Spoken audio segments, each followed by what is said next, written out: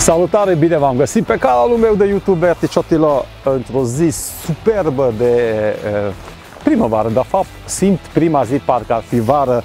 Azi mi-a fost anul acesta prima dată uh, când mi-a fost cald pe motocicletă și chiar dacă am fost cu o motocicletă naked, uh, unde n-am protecție la vânt, dar chiar l-am simțit super fan, chiar a fost bine să bată vântul, deci chiar uh, a fost Uh, zi perfectă, este o zi perfectă pentru această motocicletă Naked și vorbim de un Benelli Leoncino 800 Leoncino 800 de fapt este 7, are 752 de centimetri cub și cine a urmărit canalul meu, eu sunt un aventurier, vlogurile mele vin din aventură, uh, sunt un mare fan motociclete, sunt un biker și uh, plac motocicletele să mă plimb din cauza asta o să vă prezint mai mult uh, cum mă simt pe motocicletă, cum am simțit motocicleta. Nu o să vă prezint date tehnice foarte minimale.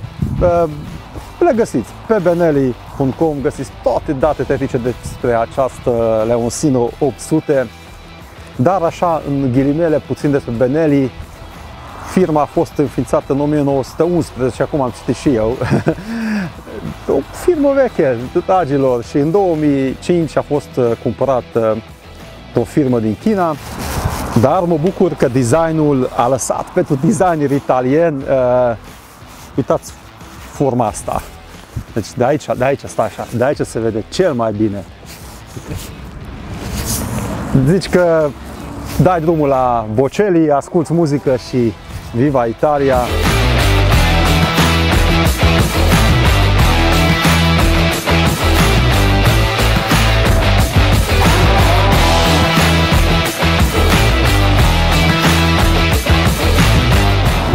Calitatea, și acum să trecem la calitatea materialelor.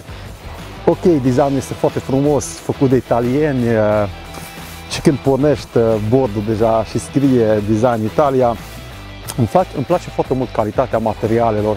Vă spun sincer, uh, ieri am luat de la Cluj, de la Motomus, care este importator oficial Benelli pe România și nu m-am așteptat la așa calitate. Totuși, e din China, este o motocicletă low budget uh, și am rămas foarte surprins.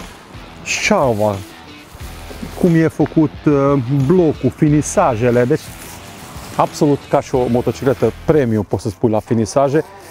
Uh, am un Triumph model mai vechi și Triumphul renumit la design, la, la calitatea materialelor și acela calitate, același calitate de găsesc la asta Benelli. Când ne uităm din față, farurile LED, absolut uh, totul este super ok.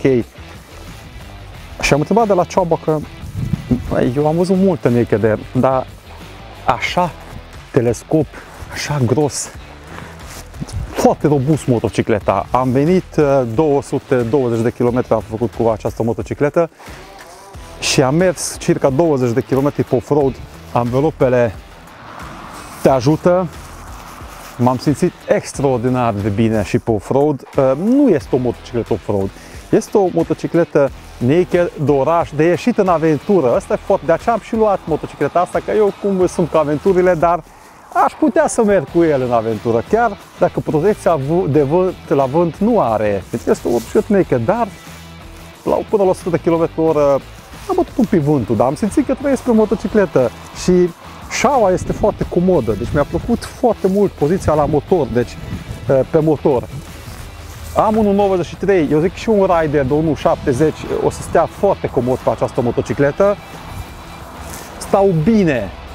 Și trebuie să spun că când m-am urcat prima dată la motomus pe motocicletă, volan, ghidonul era mult mai în față, se poate regla ghidonul. Recomand la toată lumea că foarte mulți cumpără o motocicletă, mă, dar nu-i comod poziția la, la de mers, dar totuși mă duc.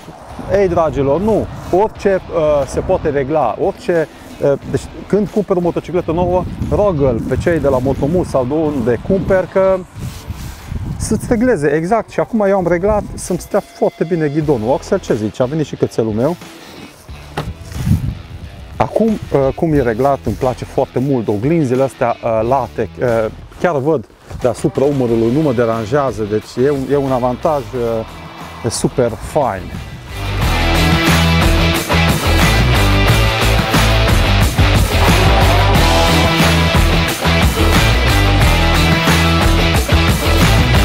Și cum am vorbit de poziția la, la volan, ai foarte multe informații. Acum bine bate soarele, eu zi, și cum ai pornit Benelli, Sins 1900 și foarte rapid intre sistemul, nu trebuie să aștepți la mine în Africa un minut până ce e bine. Acolo ai mai multă electronică, aici ai un ABS. Uh, traction controlul aici ai, în mâna dreapta, cum, cum mergi, cum dai gazul, acolo ai traction controlul, ai un ABS, dar ai aici, dacă, uite rog, ai aici îți arată, indică ce treaptă de viteză ești, turometru, câți kilometri, 228 de kilometri sunt în motor, îți arată combustibilul la noi acum deja este aproape pe zero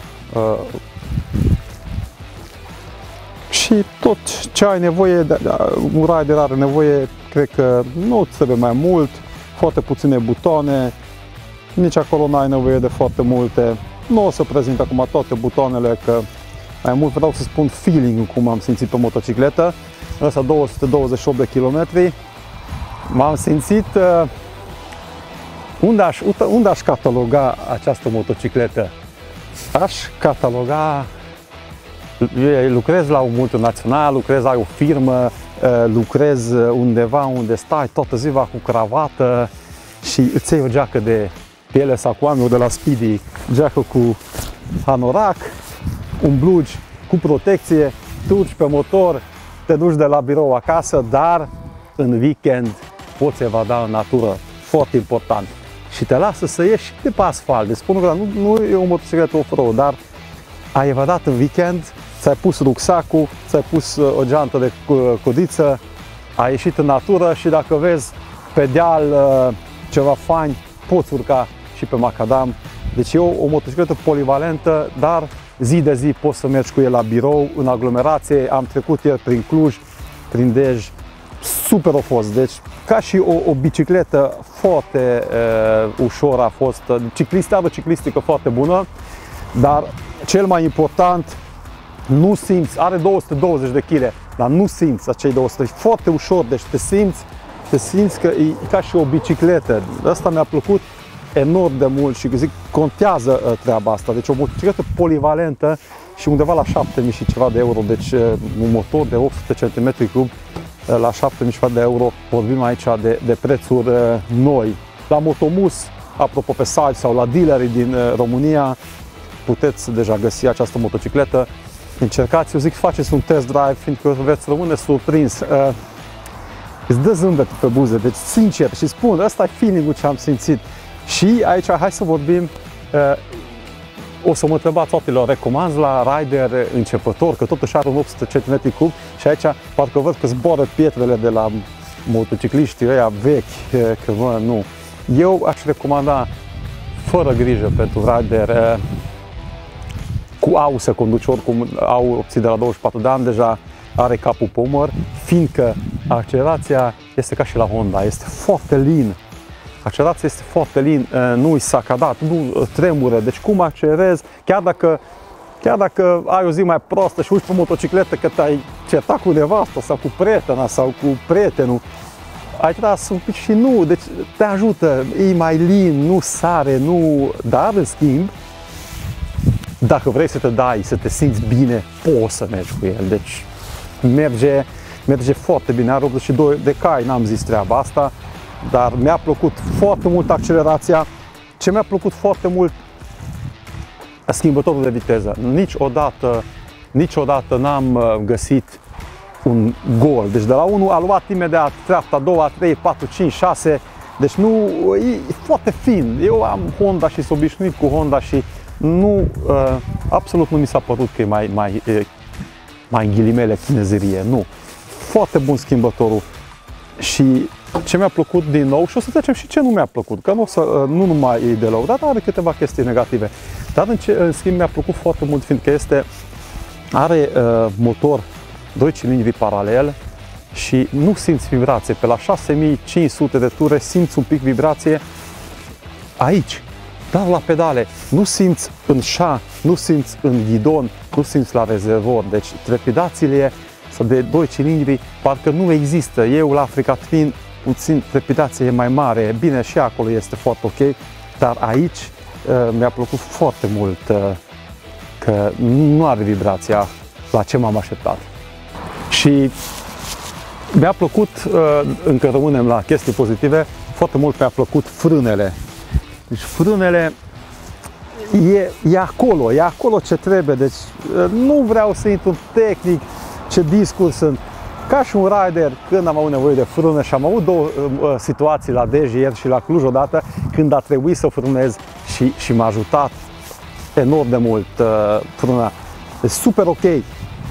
Are 800 de centimetri cub, 752, nu se poate conduce cu A2, dar cu A. Dar uh, peste câteva săptămâni o să urmeze și Leoncino 500, care este pentru A2. Uh, am stat pe el uh, ieri, nu este mai mic, e de dimensiune, eu zic că aproape cât 800-le, dar se conduce cu A2. Este uh, ideal pentru riderii uh, și pentru începător. Și asta v-am zis, pentru începător dar trebuie să ai AU. Recomand. Dar și un rider profesionist care deja se dă foarte de mult timp pe motocicletă și s-a însurat, are 5 copii, s-a lăsat și acum vrea să reînceapă din nou, recomand, fiindcă rapid se va obișnui. Deci e o motocicletă polivalentă, cum am zis, place calitatea, mânerul, ghidonul, încă o dată spun, designul este 100% și nu, nu numai să laudăm. Și foarte fain să mergi cu el. Două chestii sau maxim trei care nu mi-a plăcut și unul pot schimba, un lucru, unul nu știu dacă pot schimba. Azi am venit din Cluj, am alimentat full. Azi ne-am uh, distrat puțin aici în jurul satul mare, a arătat încă trei linii la combustibil și am făcut o întoarcere și deja am început să pupuie becul roșu. Am venit de atunci vreo 30 de km, tot pupuie, deci Ăsta nu știu dacă e ok, deci de la 3 linii imediat uh, s-a prins becul roșu. Nu știu dacă la motorul ăsta și la celălalt e o defecțiune, o să vadă băieții. Ăsta e un, un negativ, că n-am știut cât combustibil am. Uh, protecție la vânt, cum am zis, uh, cine vrea să facă numai ture lungi, nu-i recomandat, trebuie să ia terecau atunci, care o să prezentăm zilele astea. Și un lucru negativ care iar nu m-a plăcut, nu mi-a plăcut, dar eu zic acolo foarte ușor să schimb. Amelopele uh, astea, cum vedeți, te ajută foarte mult să ieși și pe off-road, te ajută pe drumuri mai uh, rele, mai ales că poți să regla suspensia din spate, uh, e foarte ok, dar uh, am venit pe mesteacă în curbe, n-am putut să, n-am putut să mă dau ca și cu o naked uh, care are anvelope pentru asfalt. Aici am simțit lipsa anvelopelor de asfalt, deci dacă vrei să mergi numai pe drumuri bune și vrei să mergi sportiv, motocicleta știe, dar trebuie să schimbi anvelopele. Dar atunci nu mai ieși în natură, în pădure, dar mergi pe asfalt, dar atunci ai o aderență foarte bună. Dacă o să folosești cu anvelope cu care vine din fabrică, aici pe asfalt, în curbe, puțin mai ușor se poate. Deci noi am trecut peste pe tine, dar e mai ușor. Da, e o chestie uh, minoră care se poate, se poate remedia.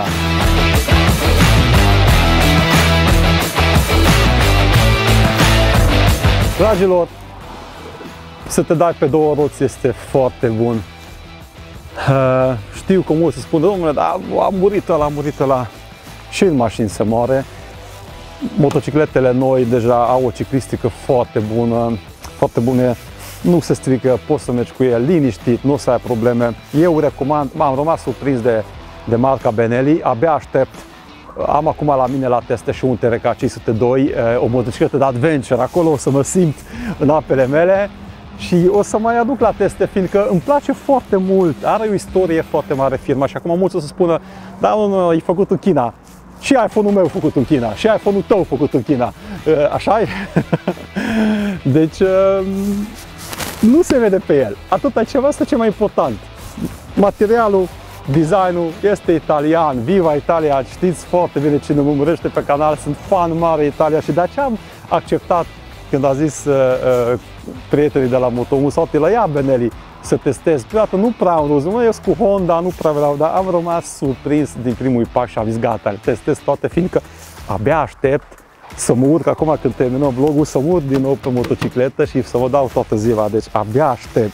Leoncino 800 Motomus găsiți importator, dar și în toată România uh, la dealeri autorizați, încercați, testați, fiindcă merită. E o motocicletă polivalentă care oricând, uh, mă uit acum dacă mai am loc în garaj, aș băga-o în garaj și să nu mai duc înapoi la Cluj, fiindcă motocicletă de umblat în oraș zi de zi chiar ar fi foarte fain.